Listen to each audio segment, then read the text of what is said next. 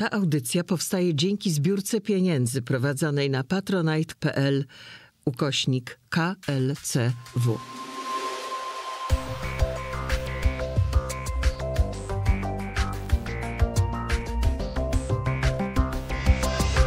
Dzień dobry, witam Państwa, Hanna Maria Giza.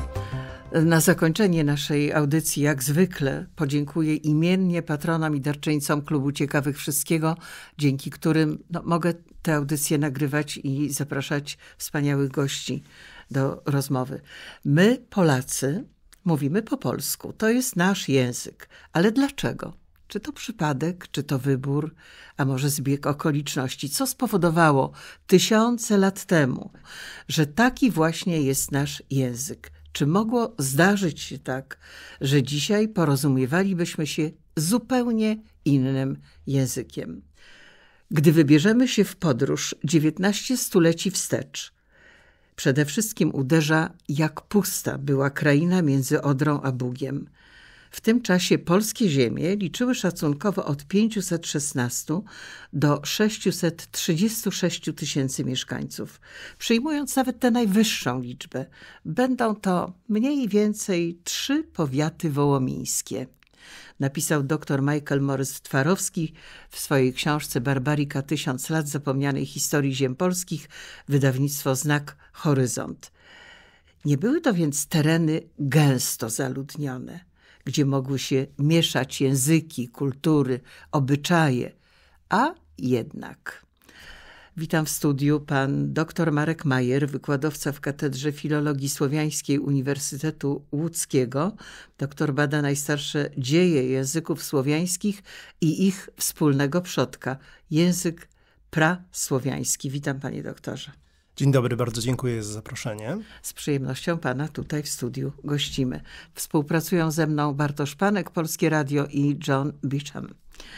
Zacznijmy od początku. 40% ludności świata, prawie wszyscy Europejczycy, w tym również Polacy, mówią dzisiaj językami z rodziny indoeuropejskiej, prawda? To prawda. Czy naukowcy, językoznawcy są w stanie precyzyjnie wskazać, określić, prapoczątki i miejsce pochodzenia wszystkich języków indoeuropejskich. Gdzie była ta kolebka tych języków? Tak, widzę, że od razu, od razu zaczęliśmy już od tych tematów, e, gdzie lekkie kontrowersje się zaczynają, e, czyli to precyzyjne no to jest najbardziej ciekawe. Oczywiście. Tak, e, natomiast warto podkreślić to, co pani redaktor powiedziała, że sama, samo twierdzenie o tym, że wszystkie języki z rodziny indoeuropejskiej pochodzą od jednego wspólnego przodka, który mniej więcej parę tysięcy lat przed naszą erą istniał, nie jest już dzisiaj obiektem żadnej naukowej kontrowersji. To jest praktycznie udowodnione. Rzeczywiście spory mogą dalej dalej się toczyć co do pewnych precyzyjnych danych typu dokładna chronologia albo lokalizacja. I tutaj od razu mogę zarysować pewien kontrast, bo rzeczywiście rekonstruując e, język praindoeuropejski, e, który istniał kilka tysięcy lat przed naszą erą, nie możemy osiągnąć już takiego stopnia precyzji, y, jaki możemy osiągnąć na przykład rekonstruując język prasłowiański, o którym pani wspomniała we wstępie. Dlatego, że trzeba pamiętać, że język polski jest jest językiem słowiańskim, to wszyscy wiemy. Y, języki słowiańskie są do siebie podobne, to też wie każdy z nas intuicyjnie słysząc. Ale o tym będziemy rozmawiać za chwilę. Proszę Aha, nie uciekać dobrze, od tego kontrowersyjnego problemu. Dobrze, oczywiście. W takim razie mm, chciałem tylko powiedzieć, że rekonstrukcja prasłowiańskiego jest bardzo pewna, dlatego że to jest stosunkowo niedawna przeszłość y, i tutaj rzeczywiście mm, możemy mówić o dużym stopniu dokładności. Jeśli chodzi o rekonstrukcję praindoeuropejskiego, y, może się tutaj pojawiać więcej niepewności, y, więcej kontrowersji, y, natomiast y, jesteśmy w stanie dość dużo na ten temat powiedzieć. Jeśli teraz chodzi o tę precyzyjną lokalizację i, chronologizację, do tej pory w współczesnej nauce, w ostatnich kilkudziesięcioleciach, funkcjonowały dwie główne teorie na temat tego, gdzie język praindoeuropejski geograficznie się znajdował, gdzie jego mówiący, tak mówiący tym językiem, gdzie oni się znajdowali. Jedna z tych hipotez, ta z przewagą uznania wśród indoeuropejstów. Mówi o lokalizacji na północ od Morza Czarnego i Morza Kaspijskiego, na stepach, tak, na terenach stepowych, powiedzmy rozpoczynających się tam, gdzie dziś leży wschodnia Ukraina. I ci Indoeuropejczycy by tam gdzieś rezydowali około czwartego tysiąclecia przed naszą erą. To jest tam pierwsza hipoteza stepowa. E, druga hipoteza, e, która do tej pory miała nieco mniejsze uznanie, ale też jakieś tam grono swoich zwolenników e, posiadała, to jest hipoteza anatolijska która lokuje praindoeuropejski nieco wcześniej, mianowicie w VII-VIII nawet w IX tysiącleciu przed naszą erą. E, dalej na południe, w Anatolii. Anatolia to jest z grubsza dzisiejsza Turcja, prawda? Ale tutaj jest mowa raczej o, o tej wschodniej części Anatolii, co jest już e, dość blisko położone do tak zwanego Żyznego Półksiężyca, e, czyli miejsca dobrze znanego, tak nam z, z Czyli od Egiptu dziejów. do Zatoki Perskiej. Mniej tak, więcej. tak, czyli, czyli tych terenów, gdzie wiele oczywiście kolebek cywilizacyjnych możemy lokować. Językoznawcy zespołu doktora Russella Greya z Instytutu Antropologii Ewolucyjnej imienia Maxa Plancka w Lipsku, jak przeczytałam, po żmudnych badaniach odrzucili zdecydowanie jedną z hipotez, tych, o których Pan mówił, i wydali werdykt, cytuję, języki indoeuropejskie nie narodziły się na dalekich stepach dzisiejszego Kazachstanu, a zatem języki indoeuropejskie wywodzą się z północnych krańców Żyznego Księżyca. Od północnej Persji po część południowej Anatolii, dziś leżącej na terytorium Turcji. Jakie to ma znaczenie? To znaczy, i czy pan profesor przyjmuje to już jako taką e, rzecz oczywistą, ustaloną i udowodnioną, czy ciągle jeszcze miałby pan wątpliwości? Jakie to ma znaczenie, że właśnie tam byłaby ta kolebka? I co z tego wynika? Tak, zacznę od y, tej y, środkowej w sumie części Pani pytania, czyli od, od tego, czy to jest już całkowicie ustalone, czy jeszcze można dyskutować. Jak najbardziej można dyskutować. Y, proszę pamiętać oczywiście, że nauka polega na, na dyskusji, na ścieraniu się konkurujących ze sobą hipotez, które często znajdują uznanie tylko części środowiska naukowego. Nie jest to samo w sobie zjawiskiem negatywnym. No bo tak? trzeba udowodnić. Oczywiście, trzeba udowodnić albo, albo przyjąć, ważyć te hipotezy, ich tak. stopień prawdopodobieństwa. I tutaj Rzeczywiście jest tak, że przyjęcie tego artykułu wśród, bo on się ukazał w zeszłym roku w lipcu w czasopiśmie Science, ten artykuł, o którym pani mówi. E, jego przyjęcie wśród indoeuropeistów, językoznawców, bo to jest artykuł interdyscyplinarny, tam jest językoznawstwo, genetyka, archeologia, e, było mieszane, to znaczy wszyscy byli pod wrażeniem rozmachu i na pewno e, przygotowania i potraktowania bardzo serio tych badań, to, to, to, to nie ulega żadnej wątpliwości. Co do samych konkluzji, cały czas są mm, tutaj y, pewne problemy nierozwiązane.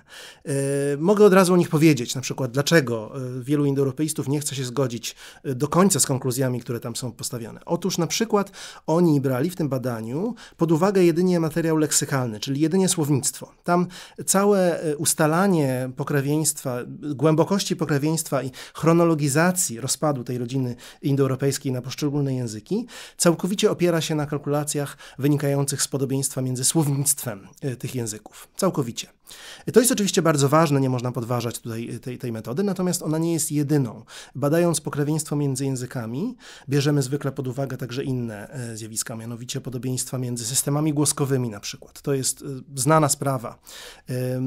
Głoski, czyli zmiany, zmiany głosowe w języku, ewoluują w sposób dość regularny i badając te regularności, odtwarzając ich przebieg w czasie, można bardzo dużo odtworzyć. Tam to nie jest wzięte pod uwagę.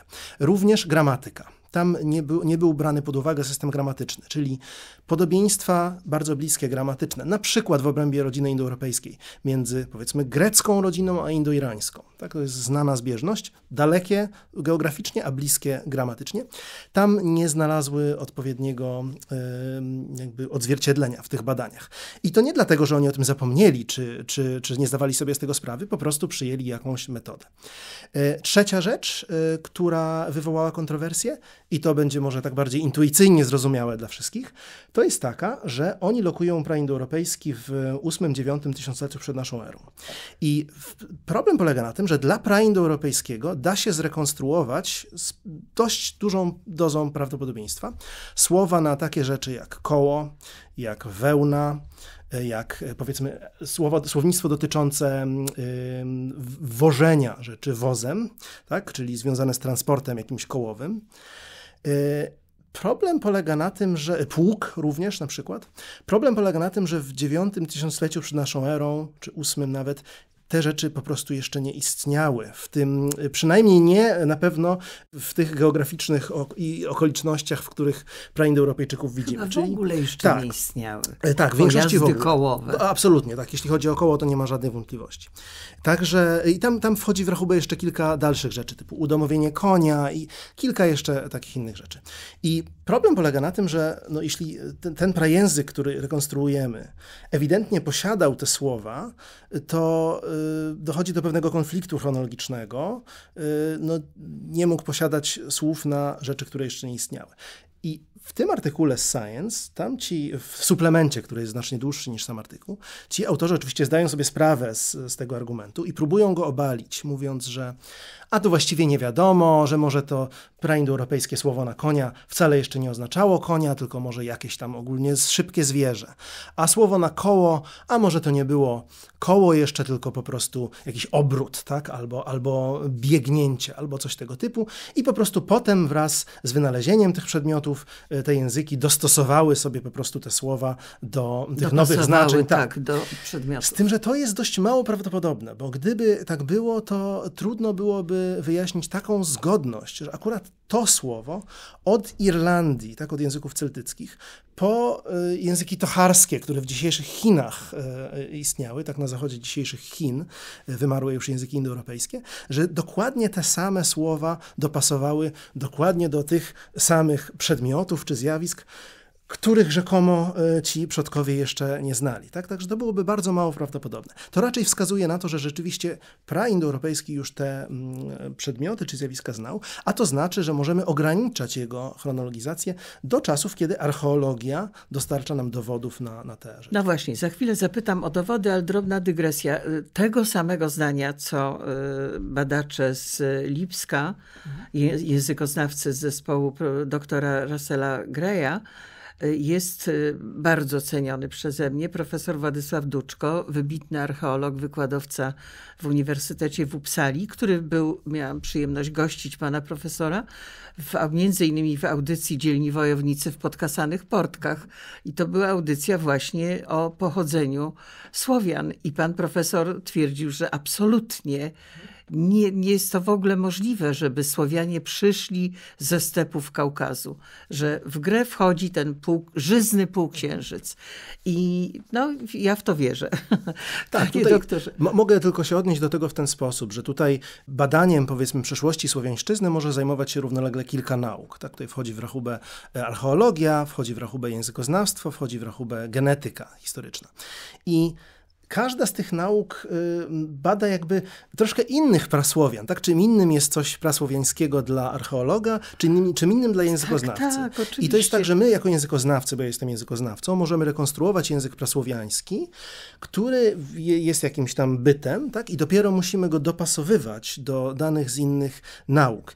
I y, czasem to dopasowanie udaje się lepiej, czasem gorzej, czasem dlatego, że nasze metody nie są doskonałe, czasem dlatego, że po prostu ten sygnał, te dane już już gdzieś tam zaginęły po drodze. Wspomniał pan doktor o dowodach. Czy zachowały się jakiekolwiek ślady, jakiekolwiek znaki piśmienne po języku praindoeuropejskim? Nie wiem, na skałach, na kamieniach, na tabliczkach. Mhm, Czy cokolwiek takiego istnieje, na co można się powołać? Właśnie nie istnieje. Dlatego, dlatego jest to tak ciekawe. Tak? Dlatego, że mamy też takie sytuacje w językoznawstwie, gdzie y, mamy prajęzyk, z którego rozwinęły się kolejne języki i ten prajęzyk sam w sobie też jest znany w piśmie. Słynnym takim przypadkiem jest rodzina języków romańskich. Tak? To są języki francuski, portugalski, hiszpański, rumuński, włoski i tak dalej, one wszystkie pochodzą od łaciny. To są po prostu y, niezależny rozwój łaciny zaniesionej tam przez Rzymian, tak, czy też przez Rzymian w sensie państwowości rzymskiej, niekoniecznie etnicznych Rzymian wywodzących się konkretnie z Rzymu, ale język łaciński y, po całym imperium oczywiście się rozniósł i y, po jego upadku nadal istniał w tych różnych odrębnych miejscach, wykształcił się w poszczególne języki romańskie. I to jest jakby takie nasze laboratorium tak, dla językoznawstwa porównawczego, dlatego że my mamy również tego przodka bezpośrednio zapisanego, tak łacina jest doskonale znana z tekstów, i możemy zobaczyć, co się wydarzyło, jak to działa, że różne języki powstają z jednego źródła. I teraz przenosimy to na obszar, gdzie tego prajęzyka nie ma. Dlatego, że, tak jak wracając do Pani pytania, praindoeuropejski absolutnie mm, nie był zapisywany, przynajmniej nic o tym nie wiemy, ale szanse na znalezienie takich tekstów są bardzo niewielkie, dlatego że, jak pani na pewno wie, y, no, y, pismo, tak, zjawisko pisma, y, okej, okay, może jeśli weźmiemy czwarte tysiąclecie przed naszą erą, to już gdzieś to pismo się rozwijało, tak, ale, ale nie, ale nie na pewno nie na stepach, ani nie, nie tam w tych miejscach, gdzie, gdzie, gdzie byśmy tych Indoeuropejczyków chcieli lokować. Także Teoretyczne jakieś szanse istnieją, że kiedyś znajdziemy takie teksty, ale wątpiłbym w to. Najstarsze y, zapisane języki indoeuropejskie to są języki z grupy anatolijskiej, wymarłej już dzisiaj rodziny językowej. Język chetycki był tutaj najważniejszym z nich i y, one, jak sama nazwa anatolijskie języki wskazuje, y, ta grupa Anatolii. w Anatolii, tam gdzie dzisiaj Turcja. Niewiele młodsze są najstarsze greckie zapisy, greka mykeńska, z, też z drugiego tysiąclecia przed naszą erą. I e, co prawda ustnie przekazywane, ale jednak też bardzo stare teksty, najstarsze na przykład indyjskie, Wedy, najstarsze teksty w sanskrycie, starożytnym języku Indii. E, co prawda zapisane na piśmie dużo później, ale przekazywane ustnie i one zachowane są w dość starym, w starym stanie. Także drugie tysiąclecie przed naszą erą to jest wtedy, kiedy mamy dane pierwsze faktycznie zapisy tekstów, czy to w formie faktycznie pisanej, czy też w każdym razie jakoś zakonserwowanej już i potem ustnie przekazanej. I to są nasze najstarsze dane. I e, nie dla wszystkich rodzin językowych mamy tak wczesne dane, bo na przykład języków słowiańskich z tego okresu nie mamy zapisów. I teraz my widzimy, że już wtedy, w tym drugim tysiącleciu przed naszą erą, kiedy mamy powiedzmy hetycki, mamy sanskryt, mamy grekę, one już się od siebie dość mocno różnią. Tak? To nie jest tak jak dzisiaj, powiedzmy, polski, czeski i, i nie wiem, i, e, ukraiński czy serbski, tak? gdzie cały czas e, wyraźne to podobieństwo słyszymy, możemy nawet się jakoś tam dogadać od biedy bez, e, bez uprzedniej nauki. Nie, to te języki już się od siebie dość mocno różnią, co świadczy właśnie o tym, że tam raczej już jakieś tysiąclecia osobnego rozwoju musiały zajść, także ten przodek praindoeuropejski musi, no jego, jego wiek musi być liczony w tysiącach lat na pewno. Wspomniał pan profesor o języku łacińskim, i korci mnie pytanie, a co z etruskim? Mhm. Skąd się wywodzi ten etruski? Ciekawe, ciekawe pytanie. Tak, łacina oczywiście jest y, jednym z języków italskich i to jest y, rodzina też indoeuropejska, czy jedna z grupa y, z rodziny indoeuropejskiej. Tam oprócz łaciny też było kilka pomniejszych języków, które szybko wymarły i łacina zdominowała cały półwysep, a, a później oczywiście też z niej języki romańskie powstały. Natomiast etruski nie nie jest językiem, czy znaczy nie był językiem indoeuropejskim. To jest jeden z nielicznych zresztą bardzo znanych, przynajmniej w tym sensie, że, że mamy jakieś teksty w nim, y, języków Europy, y, które ewidentnie pochodzą z czasów sprzed indoeuropeizacji Europy. Z czasów zanim Europa została językowo. Kiedy to e, się stało? E, kiedy to się stało? No to właśnie są, tutaj już dochodzimy do tej chronologii, o której e, wcześniej mówiliśmy, tak, tej, tych kontrowersjach. Oczywiście, jeśli przyjmiemy tę hipotezę stepową, ta, która samych Indoeuropejczyków lokuje w czwartym tysiącleciu przed naszą erą, no to oczywiście można z tego łatwo wysnuć wniosek, że to się działo w kolejnych tysiącleciach, stopniowo, tak, czyli powiedzmy w trzecie, drugie tysiąclecie przed naszą erą Europa byłaby stopniowo indoeuropeizowane. Jeśli przyjmiemy tę wcześniejszą chronologię, no to wtedy możemy również cofnąć to trochę, trochę wcześniej. To też można korelować z różnymi e, zjawiskami uchwytnymi dla archeologii. Powiedzmy, dla, te, dla tej wcześniejszej chronologii tutaj często mówi się o upowszechnianiu się rolnictwa. Także to, to z Czyli to znaczy, czy to znaczy, że y, czwarty mniej więcej, czwarte tysiąclecie przed naszą erą na terenie obecnej Europy żyły plemiona już wówczas, które się posługiwały językiem praindoeuropejskim?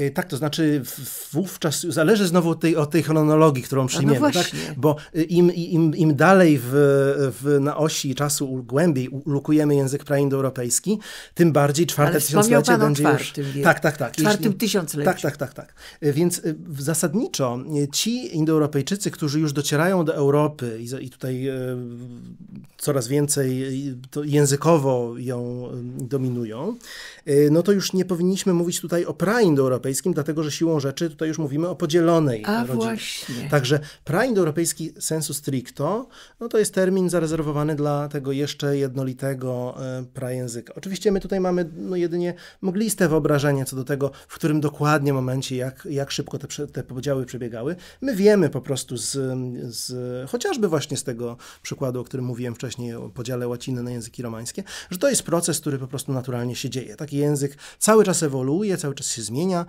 różne odmiany języka w różnych geograficznie miejscach. Niezależnie od siebie ewoluują, zmieniają się, wykształcają się odrębne dialekty i z nich języki. Tak, tak na pewno też się działo z indoeuropejskim. Tu jeszcze jedna bardzo ważna rzecz. Musimy pamiętać, że ekspansja języka, języków indoeuropejskich niekoniecznie musiała oznaczać również ekspansję jakiejś populacji ludzkiej. Czy to nie jest tak, że indoeuropejczyk przyszedł i zastąpił jakiegoś innego człowieka i, i, i stąd mamy inny język. Tak, języki rozprzestrzeniają się także poprzez populację. I my dzisiaj rekonstruując języki, tak jak już wcześniej mówiłem, nie mamy mamy na myśli y, konkretnych populacji ludzkich, czy też archeologicznych kultur, tak, to te rzeczy się mogą przecinać ze sobą, mogą się zazębiać. Y, I, I, jesteśmy w stanie jakoś tam korelować to i dopasowywać do siebie. Oczywiście te różne nauki ze sobą mm, współdziałają i starają się spójny jakiś y, scenariusz wytworzyć, ale musimy pamiętać, że często wyniki tych nauk są jakby na różnych poziomach, tak, na różnych, różne aspekty rzeczywistości badają. Panie doktorze, ale jakie wydarzenia mogły wpłynąć na to, że na części terenu dzisiejszej mhm. Europy powstały tak różne dialekty, mhm. które stanowiły taką bazę wyklucia się, prawda, odrębnych języków, właśnie takich jak pragrecki, mhm. praitalski, pragermański, mhm. Prabałtosłowiański, tak który później rozpadł się z kolei na dwa, na prabałtycki i prasłowiański. Co tak, co musiało się wydarzyć coś? E, tutaj paradoksalnie mogę powiedzieć, że niewiele się musiało wydarzyć, żeby akurat to nastąpiło. To jest proces Jakiś naturalny. rozpad tych wielkich To jest proces wspólnot? naturalny, tak. Bo, proszę, proszę, pamiętać, że wówczas y, no, komunikacja tak na dalekie jakieś y, odległości nie była absolutnie możliwa. Tak? To nie, nie, nie była Europa z jakimiś państwami scentralizowana, scentralizowanymi, gdzie byłaby jakaś stolica, jakiś król, który mm, wydaje jakieś prawa, które potem wszędzie są odczytywane i tak dalej. Prawda? To, to, to były wspólnoty ludzi, którzy, którzy, których świat generalnie był zawężony do tego, co, co znali w swojej najbliższej okolicy. I w takiej sytuacji całkowicie naturalnym jest, jest właśnie zjawisko takiego rozpadu, co zresztą dokumentuje już po raz kolejny, tutaj powiem, przykład chociażby tych języków romańskich. Tak też możemy zapytać się, jak to się stało. Była łacina, tak? E, język znany z literatury, z, z, z dzieł, z praw, ze wszystkiego. No mimo wszystko, tak, wystarczy, e, że tej centralnej władzy już nie ma, tego centralnego ośrodku prestiżu już nie ma i bardzo szybko te poszczególne odmiany łaciny zaczynają ewoluować w odrębne zupełnie języki i, i wykształcają się całkowicie odrębne byty. Także to, to samo w sobie nie jest jakieś bardzo zaskakujące, że, że doszło do takiego podziału. Jeśli, jeśli te, ten język, tam powiedzmy praindoeuropejski jeszcze umownie, czy jakieś wczesne dialekty praindoeuropejskiego znalazły się na tak dużych obszarach geograficznych, absolutnie tylko i wyłącznie kwestią czasu było e, ich, roz, e, ich byłby ich rozpad na poszczególne odrębne mhm. języki. A kiedy, y, kiedy precyzyjnie, kiedy, pytam, gdzie i dlaczego, na mhm. jakim konkretnie obszarze z tego mhm. języka praindoeuropejskiego wyodrębnił się język, no, który nas najbardziej mhm. interesuje, czyli prasłowiański. I co to znaczy wyodrębnił się, prawda? Kto i jak długo posługiwał się tym językiem pra e, słowiańskim. Tutaj też możemy oczywiście mówić tylko o, o, pewnych szacunkach, ale y, najmniej szacunkowy jest ten koniec, dlatego może zacznę od końca. Do, do kiedy język prasłowiański istniał, bo to możemy określić okay. w miarę precyzyjnie. E, rozpad prasłowiańszczyzny, czyli wyodrębnienie się poszczególnych języków słowiańskich już, przypada na końcówkę pierwszego tysiąclecia naszej ery, tak? Czyli możemy tutaj mówić o powiedzmy siódmy, ósmy, dziewiąty wiek naszej ery. To jest moment, kiedy faktycznie faktycznie już ewidentnie dochodzi do rozpadu prasłowiańszczyzny. Do mniej więcej VII-VI wieku naszej ery, tak? to nie jest aż tak dawno, proszę zwrócić uwagę. To jest przecież w Europie to jest już czas, kiedy dawno przetoczyły się dobrze znane dzieje, wielkie imperia y, i, i, i mamy całkiem dobre dane o, tym, o, o, o tej historii. Oczywiście trochę dalej na południe, ale jednak w Europie. E, także to nie jest aż tak dawno, tysiąc kilkaset lat temu. E, wtedy jeszcze język prasłowiański na pewno istniał. Tak? To, to jest, tego jesteśmy pewni. E, trudniej jest odpowiedzieć na pytanie, od kiedy on istniał, dlatego że tutaj już no, cofamy się coraz dalej i coraz, coraz mniej pewne nasze, nasze wyobrażenia są. Ale na pewno już musieli być wówczas Słowianie, skoro mówimy o języku prasłowiańskim. Tak, to prawda, aczkolwiek tutaj znowu wrócę do, do tego, co wcześniej już mówiłem, że, że, że tych Słowian troszkę inaczej inaczej możemy definiować e, historycznie, troszkę inaczej archeologicznie, to troszkę prawda. inaczej genetycznie, a troszkę inaczej językowo. Tak, tak? Także, także mm, ja tutaj mogę się wypowiadać oczywiście na tematy e, językowe, a, a pozostałe te nauki, no to musimy jakoś już dopasowywać nasze, nasze, mm, nasze rezultaty. I tak, no, językoznawczo jest, jest to absolutnie pewne, że do tego momentu języki e, słowiańskie zaczęły się już wykształcać, do, do od tego mniej więcej VI-VII wieku naszej ery. A kiedy język prasłowiański odrębny się, się wykształcił? Na to pytanie jest dużo trudniej odpowiedzieć. Zwykle e, podaje się e, taką szacunkową datę, że prasłowiański wyodrębnia się z prabałtosłowiańskiego w drugim tysiącleciu przed naszą erą, tak szacunkowo, tak, tak, tak, mniej tak, więcej. Mniej więcej, bo możemy powiedzmy rzucić taką datą jak 1500 lat przed naszą erą, ale to jest bardzo, bardzo szacunkowe. I faktycznie e, tutaj pani, pani słusznie zwróciła zwróciła uwagę na to, że mamy jeszcze to pośrednie stadium pra-bałtosłowiańskie.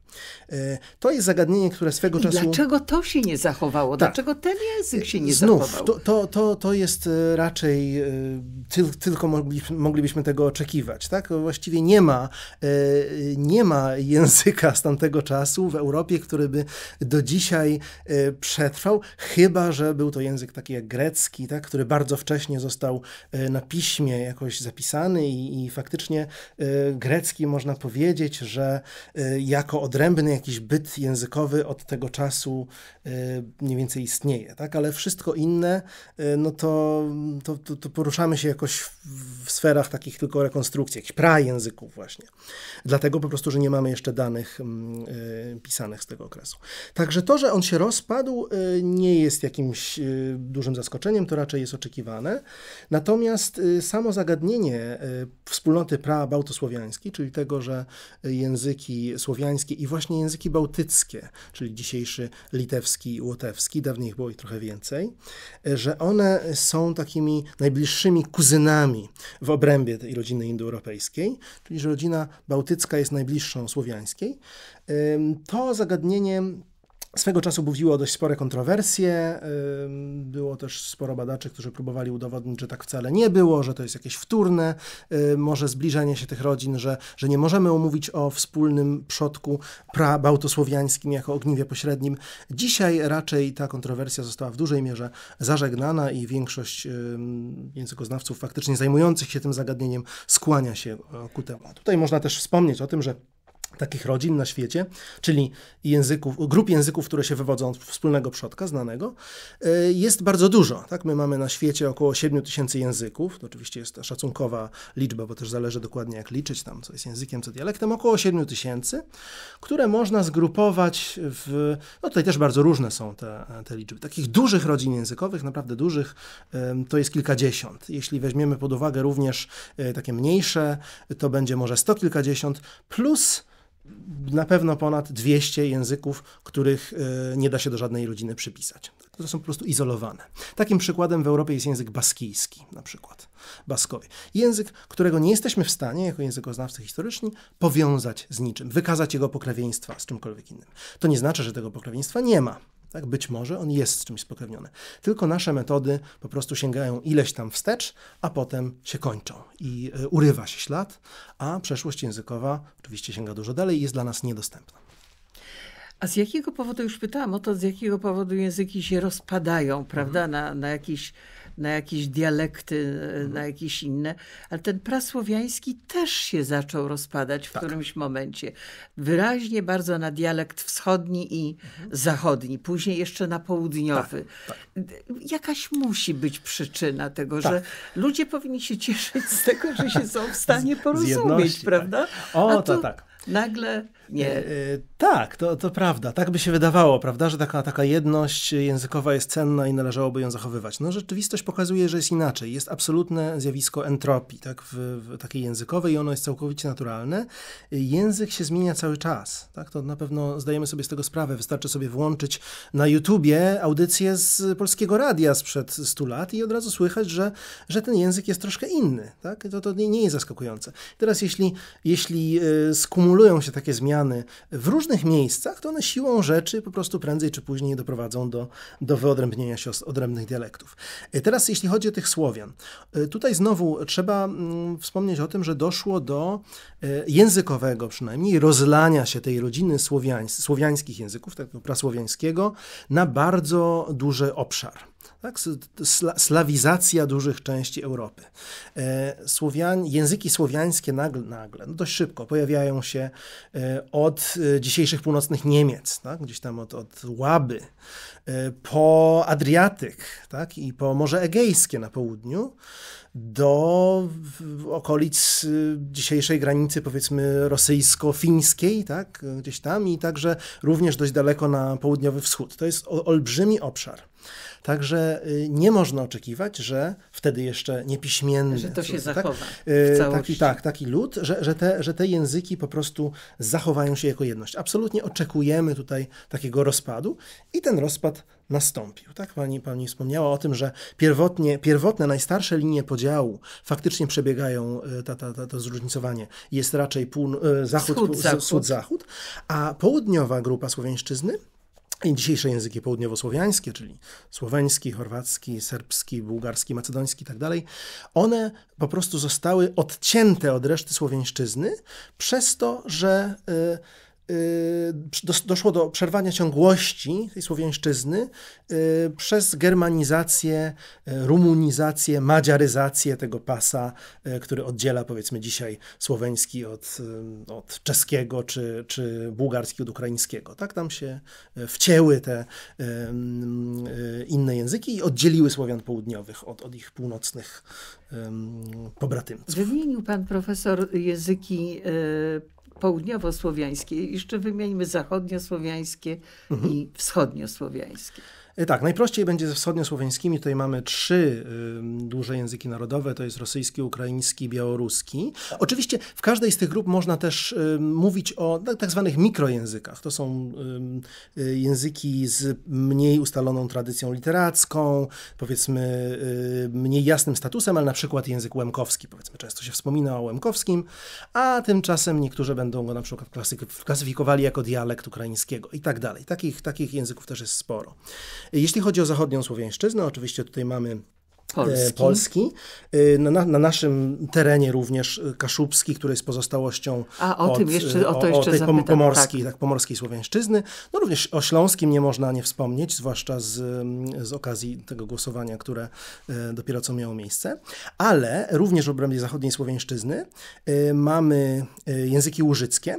To są mniejszościowe języki słowiańskie używane dzisiaj we wschodnich Niemczech. I znowu dwa. Dolnołużycki, tak. górnołużycki. Górnołużycki w Saksonii, Dolnołużycki w Brandenburgii, e, także to są dwa i to nie jest obszar spójny, to faktycznie jest przedzielone pasem niemieckim e, dzisiaj.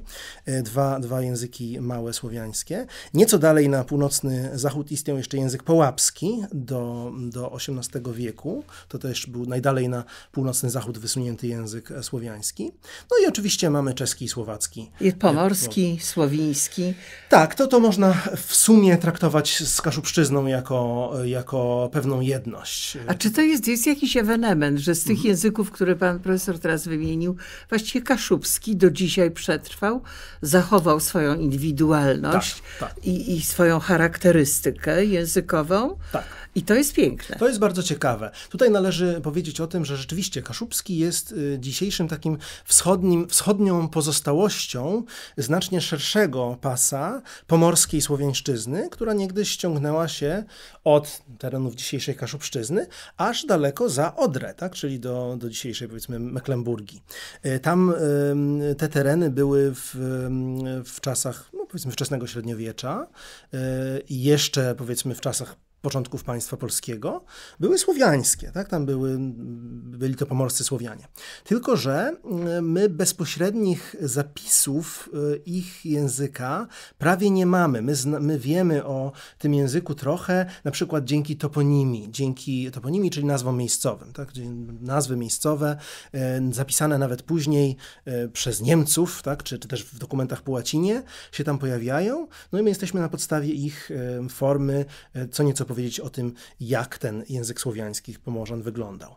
Albo przez zapożyczenia, na przykład do e, obecnych tam później, tych, które później się pojawiły, dialektów niemieckich, były zapożyczane e, słowiańskie słowa stamtąd i my badając te zapożyczenia również możemy trochę powiedzieć o języku tych Słowian, którzy tam mieszkali. Ale co do zasady, te, e, te słowiańskie narzecza Pomorza się do dzisiaj nie zachowały, oprócz właśnie tego wschodniego skrawka, którym jest dzisiejszy język kaszubski. I jest to rzeczywiście duże bogactwo e, językowe dzisiejszych terenów polskich, właśnie to, że, że, że nie, jest, nie jest to jedynie jeden rodzaj słowiańszczyzny, jaki, jaki tutaj mamy, tylko właśnie troszkę więcej. Należy Polski jest najbardziej zbliżony do słowackiego, chyba, tak mi się wydaje, a najmniej Czyli największa różnica jest, zdaje się, między polskim a bułgarskim. Tak, tutaj jeśli chodzi o ten, o ten słowacki, to oczywiście jest, jest prawda. Można też wspomnieć jeszcze o dolnołużyckim, e, który jest mniej znacznie znanym e, językiem e, szerokim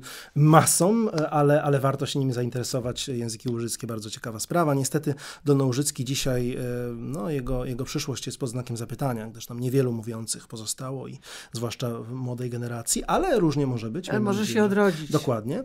Natomiast bułgarski, tutaj faktycznie trzeba przyznać, że ta grupa, wschodnia część słowiańszczyzny południowej, czyli języki bułgarski i macedoński, rzeczywiście stanowi coś nie, nieco odrębnego przez różne cechy, które, których te języki nabrały w późniejszych już etapach swojego rozwoju. To na przykład jest zanik przypadków. Tak? To są języki słowiańskie bez przypadków. Nie mamy, my jesteśmy przyzwyczajeni do tego, że języki słowiańskie to zawsze muszą być jakieś skomplikowane odmiany przez przypadki, tak. tak? a tam tak nie jest. A za to na przykład mają rodzajniki określone, trochę tak jak angielski czy niemiecki, tak? czyli słówko na jakieś tam the czy der, die, das. E, z tym, że te rodzajniki się pojawiają po słowie. Na przykład mamy kniga po bułgarsku, a to jest book, tak? a the book to będzie kniga ta i tak dalej. Także to są różne cechy, które faktycznie odróżniają bułgarski i macedoński od polszczyzny, ale E, też nie są to różnice jakieś bardzo, bardzo duże. Języki słowiańskie są do siebie wszystkie, wszystkie dość podobne i to wynika właśnie z tego, że dopiero dość niedawno e, się, się od siebie oddzieliły. Proszę powiedzieć, z jakiego dialektu bezpośrednio, jeżeli tak się stało, bezpośrednio wywodzi się język polski i jakie plemiona mhm. posługiwały się dialektem lechickim? Mhm. Dlatego, dlaczego też ten dialekt, a nie inny przeważył? Wybór był dość duży tak, i bogaty. Znaczy, tutaj e, Lechicki, grupa Lechicka to jest taki termin raczej powiedzmy klasyfikacyjny, e, klasyfikacji e, języków zachodniosłowiańskich. W ich obrębie wyróżniamy właśnie grupę czeskosłowacką, grupę łużycką tak. grupę lechicką, tak, do której należy tak. zarówno polszczyzna, ale też właśnie na przykład pomorski, czy te pomorskie dawne narzecza, z których język kaszubski się wywodzi, ale też na przykład połapski tam należał. Także mm, to nie mówiłbym tutaj o jakimś dialekcie lechickim jako e, jakimś faktycznie istniejącym wówczas e, narzeczu jakiegoś konkretnego plemienia lechitów. Tak, jeśli chodzi o rekonstrukcję sytuacji dialektalnej z tamtych czasów, ona jest nieco utrudniona, dlatego że my co prawda mamy dane o bardzo wielu plemionach słowiańskich, tak? Doskonale znamy z historii Polski e, Wiemy, które te, te plemienne wspólnoty dały początek państwu polskiemu.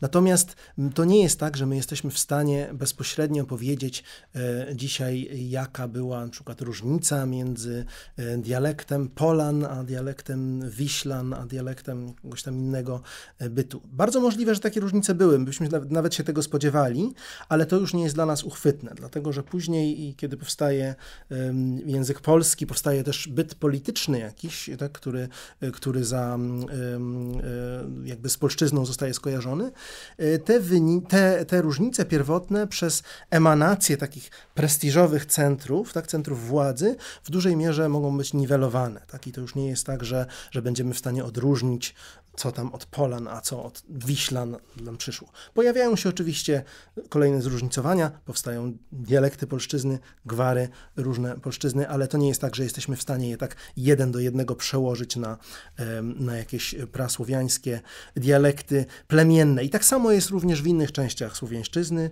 My też często wiemy o tym, jakie na przykład związki plemienne na danym y, obszarze były, ale mm, trudno nam jest dzisiaj bezpośrednio rekonstruować dialekty plemienne słowiańszczyzny. Raczej, raczej tutaj mówimy o e, różnicach między już późniejszymi troszkę ugrupowaniami, które właśnie stanowią osobne języki słowiańskie, e, ale, ale te, te plemienne różnice są dla nas mało uchwytne.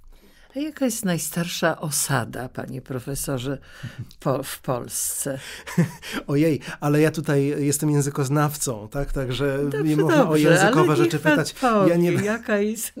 ja nie będę się wypowiadał na tematy archeologiczne, historyczne, bo to nie, nie jest moja, moja specjalizacja. Ale sądzi pan, że biskupi?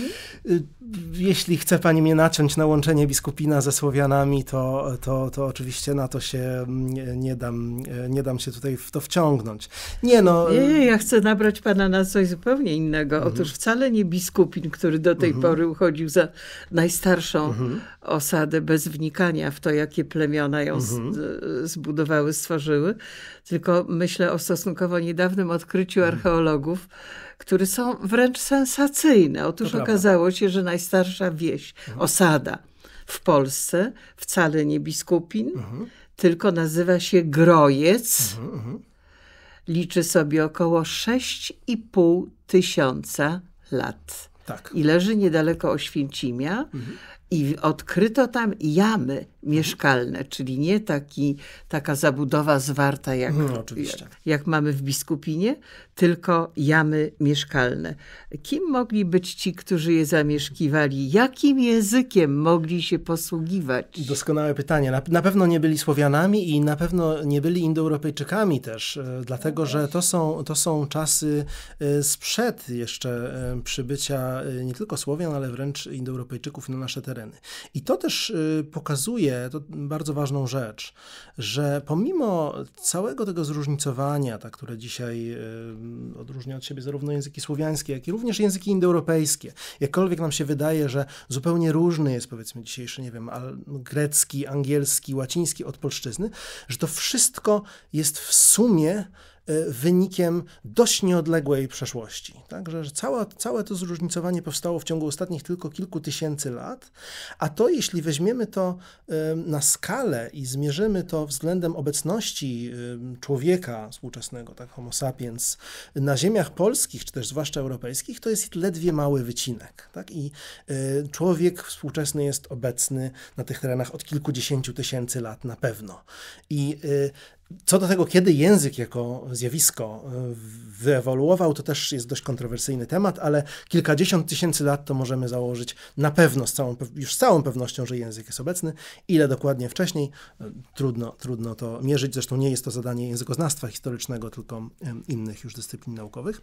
Więc to jest zaledwie fragment tej przeszłości. Tak? My tutaj możemy mówić o, o jakichś autochtonach, tak? o tym, że ktoś tutaj od bardzo dawna jest i to są jego pradawne, y, macierzyste ziemie. Wszystko fajnie, ale, ale to jest ledwie czubek góry lodowej, a dalej jest właśnie przeszłość językowa, która dla nas jest praktycznie niedostępna. Nie mamy tekstów pisanych, żadnych oczywiście tych ludzi, nie mamy żadnych języków e, potomków, tak? nie ma żadnych e, e, wywodzących się z tamtych czasów mm, języków, które moglibyśmy badać, wziąć na warsztat podobieństwa i różnice między nimi, spróbować zrekonstruować wspólnego przodka, więc o tych językach nie jesteśmy w stanie powiedzieć właściwie nic. Ja wcześniej wspomniałem o baskijskim. Baskijski jest ciekawym przypadkiem, dlatego że i również etruski, o którym pani redaktor wspomniała wcześniej, to są dwa e, ciekawe dość przypadki, dlatego że możemy być pewni, że to są pozostałości rzeczywiście tej warstwy językowej w Europie, która pochodzi jeszcze z czasów sprzed indoeuropeizacji. Także to są rzeczywiście e, języki pozostałości zapewne znacznie bardziej zróżnicowanego krajobrazu z czasów sprzed indoeuropeizacji. Ale no, baskijski rzeczywiście do dzisiaj istnieje, można go badać, ale, ale nie ma żadnych znanych krewnych, więc e, nie można nic o jego przeszłości więcej powiedzieć niż, niż to, e, od, od którego momentu on jest zapisany. Etruski natomiast jest znany tylko oczywiście ze źródeł pisanych. Ten język wymarł dość wcześnie, jeszcze za, za, za Rzymu, tak, za władze Rzymu. Już sami Rzymianie mówili o tym, że coraz mniej ludzi potrafi mówić po etrusku. Albo no, przyczynili tak. się do tego, że ten język Absolutnie. wymarł Przyczynili przecież. się, tak, oczywiście. Ale y, nie jest on zbyt dobrze przez nas, nas mówię jako nie siebie samego, ale y, specjalistów zajmujących się tym, nie jest on zbyt dobrze zrozumiały. My y, jesteśmy w stanie częściowo e, pewne rozszyfrować, rozszyfrować tak. jakieś elementy leksykalne, elementy gramatyki, ale to nie jest tak jak z łaciną, że, że jesteśmy w stanie po etrusku czytać. Zresztą tego materiału też jest znacznie mniej, nieporównywalnie mniej e, i, i większość e, struktury i słownictwa tego języka jest dla nas nieprzejrzysta. Także jesteśmy w stanie powiedzieć o tym, że nie był to język indoeuropejski, to wiemy na pewno i że był on niewątpliwie pozostałością jakiejś poprzedniej warstwy. Ale to i tak jest jeszcze tylko po prostu kolejna warstwa, a pod nią na pewno było jeszcze dużo, dużo, dużo kolejnych, o których nie wiemy nic. Tak? Mamy o tych ludziach e, informacje archeologiczne, mamy genetyczne, językowych nie mamy jak mieć, bo, bo nie mamy ani źródeł pisanych, ani istniejących dzisiaj językowych potomków. Jeszcze chciałam wrócić do tego pytania o to, kiedy na terenie dzisiejszej Polski pojawili się Słowianie. Mhm. E, jeszcze raz zacytuję doktora Michaela Morysa Twarowskiego, który w swojej książce napisał w kwestii, kiedy pojawili się w dorzeczach Odry i Wisły e, Słowianie, polscy archeolodzy, wspierani przez językoznawców, podzielili się na dwa obozy autochtonistów i allochtonistów. Trochę przejaskrawiając, ale tylko trochę, autochtoniści widzą Słowian na ziemiach polskich od zawsze. Dla allochtonistów ziemie polskie w V i VI wieku naszej ery tak. to tereny opustoszałe niczym sceneria filmu Postapo, na których pojawiają się przybysze ze wschodu, Słowianie. No ale różne źródła podają, że początki Słowian, początki lokowania się Słowian na ziemiach polskich y, są wcześniejsze, czyli to nie, nie, nie, niekoniecznie ten czwarty wiek. Już mhm. czy dopiero czwarty? Mhm. Właśnie jak, jak to jest? E, tutaj znowu Czy to muszę... możemy w ogóle precyzyjnie tak. określić? Na pewno nie, na, nie za bardzo na podstawie e, samych językoznawczych, porównawczych danych, porównując języki słowiańskie, rekonstruując prasłowiański, nie znaczy, uzyskamy... Znaczy, przepraszam, bo możemy tak. ustalić, kiedy były najazdy Hunów. Tak. tak. Kiedy Hunowie opuścili i powstała ta tak. pustka, próżnia, tak, prawda? To po tej spalonej ziemi. No i wtedy, że mogli wejść na te tereny Słowianie. Ale czy na pewno wtedy?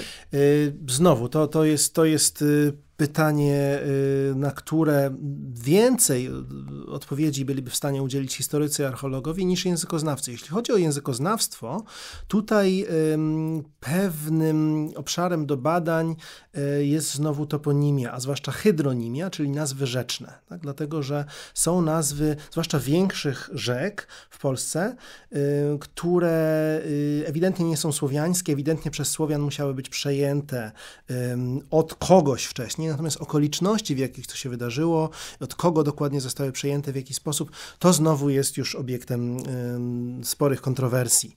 E, także tutaj, jeśli chodzi o te, o te ruchy ludnościowe tak, i, i tego typu zjawiska, e, w samym języku, w samych danych językoznawczych takie rzeczy nie do końca są uchwytne.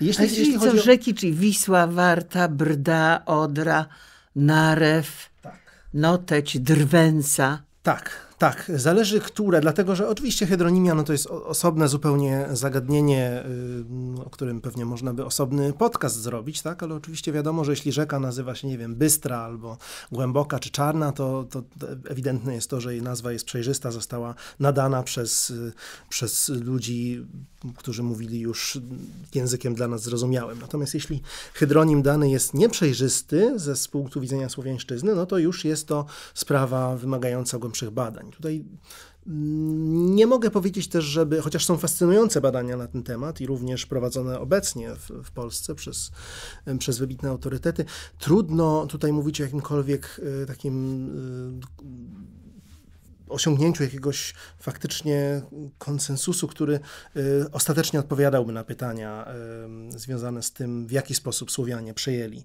y, te nazwy i od kogo. Tak? Tutaj A dość duże... plemiona germańskie Właśnie, to największy, największy, największe zamieszanie tutaj. Celtowie. Dokładnie. Największe Prusowie. zamieszanie tutaj ci Germanie wprowadzają, dlatego że akurat języki germańskie charakteryzują się, charakteryzują się specyficznymi dość zjawiskami w obrębie obrębie y, zmian w, w spółgłoskach, w systemie spółgłoskowym i przejęcie tych hydronimów od Germanów teoretycznie powinno być uchwytne w materiale językowym słowiańskim, to znaczy powinniśmy być w stanie się zorientować, że to są nazwy odziedziczone po Germanach, a w większości wypadków tych, tego sygnału brak. I to stanowi jakąś tam zagadkę. Ale po, po szczegóły tutaj rzeczywiście już odsyłam do, do, do szczegółowych debat na temat hydronimii, które, które są niejako odrębną mm, tematyką niż, niż sam prasłowiański.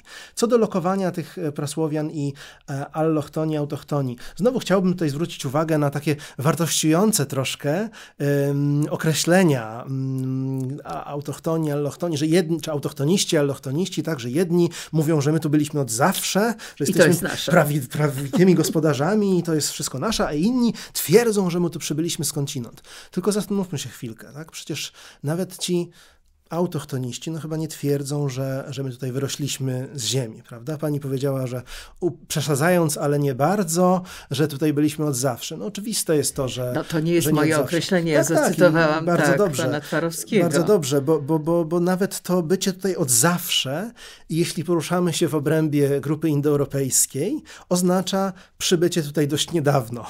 I tutaj ja mogę jeszcze się powołać na jeden podobny dość kazus z południa Europy, tam mianowicie, wiadomo, Bałkany, tak? To są kolejny temat, e, kolejne, kolejny obszar, gdzie e, no, lubią się narody przechwalać tym, który tam jest od, od, od kiedy i jak dawno. I, I który ma jakie tak, prawa i do czego. Dokładnie. Na przykład w Albanii e, takim ulubionym tematem jest ta, właśnie ten status autochtoniczny Albańczyków. Oni tutaj od zawsze byli i tutaj jacyś Słowianie przyszli z północy i tutaj próbują odbierać te ziemię, ale oni tutaj zawsze byli. No to, prawda, że to jest prawda. To byli ci wojownicy tak, dzielni w podkazanych jest, jest to prawda, że tam język Przyszli albański tam, tak. absol istniał e, od, od, absolutnie przez całą starożytność, gdzieś, gdzieś musiał być. Nie, nie ma tutaj nic absolutnie zdrożnego w samym tym twierdzeniu, tylko że y, troszkę gorzej jest, jak sobie uświadomimy, że nawet ta, ten, ten status autochtoniczny takiego albańskiego, to i tak znaczy tylko tyle, że, że, no, że oni tam przybyli jakoś tam tysiąc lat wcześniej, czy dwa tysiące lat wcześniej, ale co to jest w obliczu kilkudziesięciu tysięcy lat y, obecności człowieka na tych ziemiach? Nikt, żaden indoeuropejczyk, tak, z punktu widzenia językowego, nie jest w Europie autochtonem. To po prostu jest y, niemożliwe. Tak, wszyscy jesteśmy y, językowo, oczywiście mówię, przybyszami ze, ze wschodu.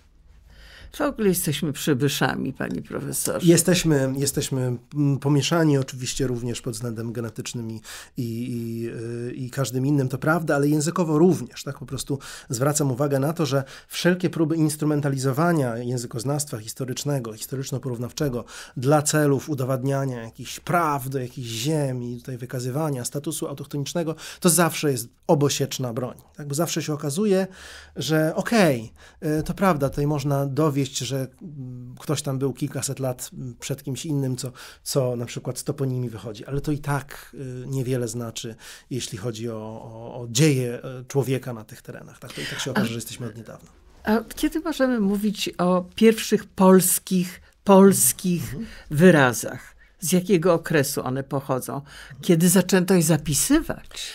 Y, tak, no tutaj znowu już historia odrębna y, języka polskiego jako takiego to jest domena dla polonistów, prawda? Tutaj już poloniści powinni się wypowiadać na temat takich, takich rzeczy. Ja tylko mogę bardzo ogólnikowo powiedzieć. No pierwsze takie teksty, prawdziwe teksty z prawdziwego zdarzenia mamy w polszczyźnie dopiero od XIV wieku. Tak? Wcześniej mamy raczej pojedyncze jakieś różne wyrazy, powiedzmy nazwy miejscowe, nazwy, osobowe zapisane w, w, obecne w dokumentach, które nie są pisane po polsku, na przykład po łacinie. Tak? Powiedzmy, tak, Bulla Gnieźnieńska jest takim znanym dość dokumentem, gdzie bardzo wiele nazw miejscowych polskich zostały zapisanych no, na parę stuleci, zanim, e, zanim się y, pojawiły teksty pisane faktycznie Księga Henrykowska, a również, XIII no, wiek. To prawda, tak. To Daj ać po brusze, a ty poczywaj. To, tak, no to trudno to Pierwsze uznać za, za tekst. Zdanie. Tak, to mamy faktycznie wtrącone zdanie, w, to prawda, w, no i jeszcze do tekstu jako takiego to, to, to, troszeczkę brakuje, ale tak, tak, więc to stopniowo tam się pojawia. Natomiast to nie znaczy oczywiście, że wcześniej nie było polskich wyrazów, tak jak no pani powiedziała. Oczywiście tak. Tutaj znowu możemy wrócić do po prostu zjawiska, rozpa- do zjawiska rozpadu prasłowiańszczyzny. Tak? Wtedy, kiedy prasłowiańszczyzna rozpada się na poszczególne języki słowiańskie, wtedy powstają same te języki. Od, od, tego momentu mniej więcej możemy mówić o, o odrębnych językach. Oczywiście siłą rzeczy to jakoś tam będzie korelować też ze zjawiskami historyczno-politycznymi. Tak? Jeśli pojawia się jakiś byt polityczny, taki jak na przykład w naszym wypadku monarchia piastowska, no to wiadomo, że ta słowiańszczyzna z tego obszaru jakoś tam się będzie konsolidować i powstanie narodowy język polski prędzej czy później z tego. Tak? Ale, ale, yy, ale dużo wcześniej, gdybyśmy y, spojrzeli, to już y, po prostu byśmy doszli do etapu prasłowiańskiego i, i jego odrębnych dialektów. Wtedy rzeczywiście trudno mówić o wyrazach polskich, na przykład z VII wieku naszej ery. Tak nie ma to sensu, bo byłyby to po prostu wyrazy prasłowiańskie. Dobrze, a jakiej proweniencji jest sama nazwa Słowianie? O, to kolejne ciekawe bardzo pytanie, bardzo dużo dyskutowane w, w nauce. Niestety nie mamy na ten temat y, precyzyjnej odpowiedzi istniało wiele hipotez, żadnej z nich nie udało się całkowicie udowodnić.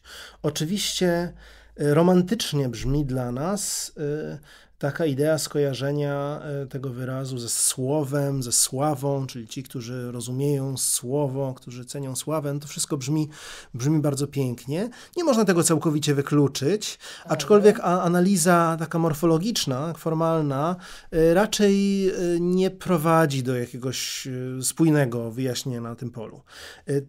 Wielokrotnie podkreślano, że ten wyraz, struktura tego wyrazu wskazywałaby raczej na pochodzenie od jakiejś nazwy miejscowej, na przykład od jakiegoś hydronimu, od jakiejś rzeki, tak, że byliby to faktycznie mieszkańcy z nad i pierwotnie jakiegoś, jakiegoś obiektu wodnego, który byłby nazywany tym rdzeniem. No ale tu nie mamy takiego. Ale, ale, nie został on zidentyfikowany. Tak, można hipote hipotezy różne wysnuwać, y, y, co to mogło być, ale nie ma y, dowodu na to, że faktycznie można to skojarzyć z jakimś e, rzeczywiście zidentyfikowanym obiektem.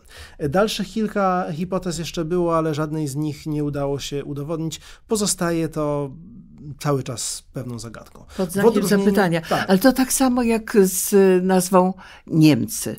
Tak. Czy to jest y, tak samo wątpliwe, tak mi się Mniej wydaje, wątpliwe. że to ludy, które posługiwały się tak. językiem, którego nie, nie rozumieliśmy, tak. Niemi, to jest mniej mówili inaczej. To jest mniej wątpliwe o tyle, że to jest dość typowa motywacja nadawania e, rzeczywiście nazw e, ludom. Bardzo często jest tak, że nazwy różnych, różnych E, czy to wspólnot jakichś plemiennych, czy w każdym razie wspólnot językowych, mają takie nazwy, które wskazują właśnie na naszość albo odrębność. Tak?